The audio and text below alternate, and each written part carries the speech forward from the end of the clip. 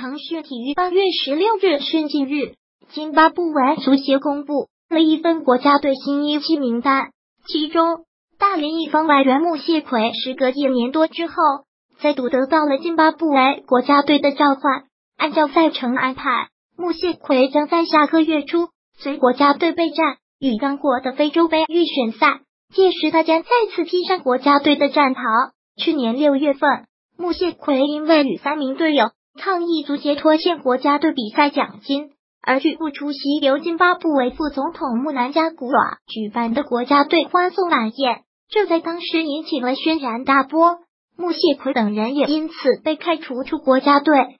最近一段时间，由于穆谢奎在大连一方越来越出色的表现，已经引起了津巴布韦新帅齐得赞布瓦的关注。也为他这次重回国家队名单铺平了道路。在接受采访时，津巴布韦国家队主管姆坦达尔也证实，穆谢奎将再度为国效力。他最近在俱乐部比赛中表现的很好，甚至在上个星期打进了很多球。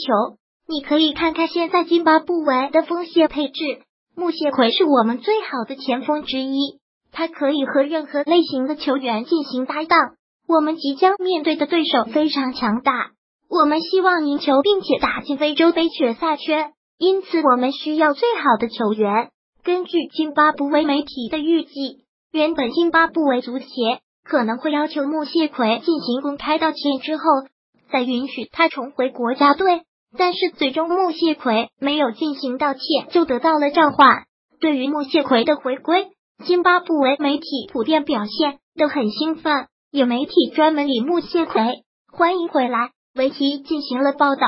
不出意外的话，穆谢奎回归国家队的首战将定在九月三日。津巴布韦将在非洲杯预选赛中对阵民主刚果，国家外援巴坎布杰斯也将代表民主刚果参赛。截至目前，穆谢奎共为津巴布韦出场十七次，打进六球。阿尔高菲 and 免责声明。本文来自腾讯新闻客户端自媒体，不代表腾讯网的观点和立场。